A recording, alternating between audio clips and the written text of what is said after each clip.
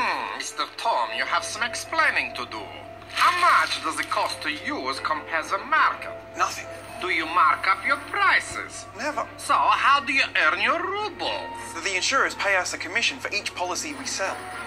Hmm. Did you eat all the office biscuits? No. I knew it. Compare and save at comparethemarket.com.au. We've got your back. Simples.